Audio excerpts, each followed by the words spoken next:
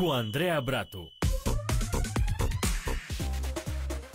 Da, bună dimineața, București! Sunt uh, zile dificile pentru Ucraina și pentru întreaga Europa.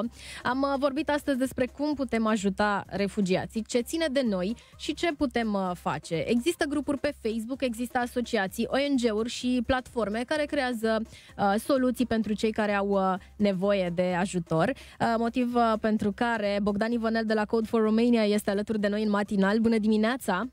Bună dimineața! Uh, joi, pe 24 uh, februarie, Code for Romania a anunțat că își oprește activitatea obișnuită și că își îndreaptă toate eforturile echipei și uh, comunității de voluntari spre construcția infrastructurii digitale de care refugiații au nevoie. Și așa a apărut platforma dopomoha.ro. O să te rog pe tine să ne spui ce conține mai exact această platformă. Dopomoha.ro este punctul central în care oricine ajunge în România, oricine se adăpostește în România din calea războiului, poate găsi toate informațiile de care are nevoie. De la chestiuni legate de azil și cum să obțină azilul, până la cum poate trece granița pe diferite spețe Uh, copii singuri, poate doar un părinte cu un copil, persoane cu dizabilități, acoperim toate, toate informațiile de felul acesta, oameni care și-au pierdut documentele sau care nu mai au acces la documentele lor, toate informațiile sunt acolo pentru ei în limba ucrainiană, în limba rusă, în limba engleză și în limba română, astfel încât să putem să-i ajutăm cât mai bine din momentul, din momentul zero, de când ei sunt pe partea cealaltă a graniței, Dopomoha.ro, și asta este important, este platforma oficială de informare. Au contribuit și contribuie la ea în timp real cu informații Guvernul României prin DSU, International Organization for Migration, UNHCR, adică agențiile ONU din România și CNRR, Consiliul Național Român pentru Refugiați. Am intrat și eu uh, pe site uh, acum și uh, pentru cei care sunt interesați, există așa mai multe secțiuni. Secțiunea întrebări frecvente, cum intru în România cu toate informațiile de care ai nevoie, procedura de azil, drepturile mele, fie în siguranță și descurcă-te în România, ceea ce mi se pare foarte important. Știu că voi ați venit cu mai multe soluții.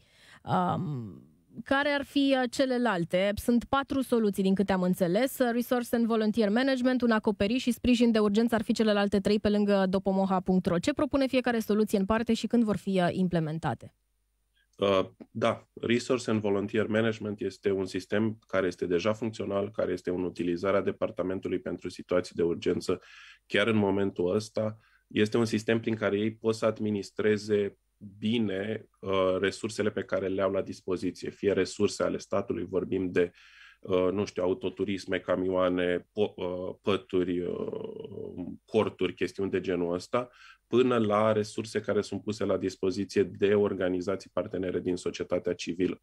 Separat, acum lucrăm și sperăm să fie gata în termen de câteva ore, maxim zile, o interfață publică uh, acestei platforme care se cheamă Sprijin de Urgență, unde orice persoană fizică sau juridică poate să pună la dispoziția DSU și autorităților materiale sau ajutoare pe care ei pot să le ofere. Din nou, de la corturi, pături încălzitoare până la mâncare care nu Uh, nu se strică astfel încât autoritățile să le centralizeze și să le poată distribui după cum este nevoie și ca și societatea civilă să aibă acces, sperăm la baza asta de date, să poată distribui și ei în teren resursele astea, să fie un punct de control unic al societății civile și al uh, guvernului.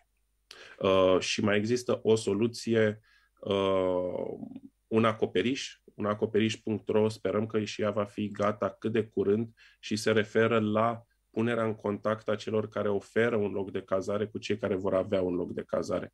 Foarte important este că, în plus față de uh, zona organică care a apărut deja pe internet, pe grupuri de oameni care oferă, oferă cazare, aici vor fi Uh, locuri de cazare verificate. Este important să îi ajutăm pe acești oameni, dar pe termen mediu și lung vor apărea cazuri în care, bineînțeles, oriunde avem persoane vulnerabile, vor apărea și cei care vor încerca să uh, se folosească de vulnerabilitatea lor. Ne gândim că majoritatea celor care intră acum în România sunt copii sau femei cu copii bătrâni și vrem să fie în siguranță, vrem să ajungă în locații în care uh, să le răspundă nevoilor lor, fie că vorbim câteodată poate de persoane cu dizabilități, poate vorbim de familii numeroase sau de bolnavi cronici care poate au nevoie de acces la anumite spitale. Ne putem gândi la persoane cu diabet, la persoane care au nevoie la anumite tipuri de servicii medicale și pe care trebuie să-i trimitem către locuri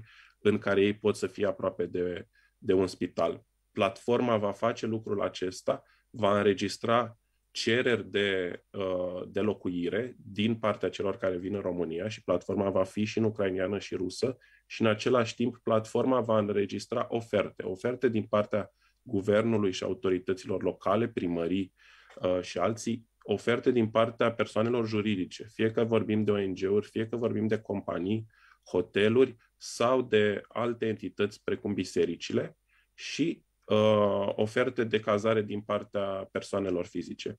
Și împreună cu partenerii noștri de la FONSS, Federația Organizațiilor din domeniul social, uh, din sectorul ONG și cu partenerii de la Zi de Bine, vom administra aceste cereri și ne vom asigura că cei care au nevoie ajung în locațiile care sunt potrivite pentru ei.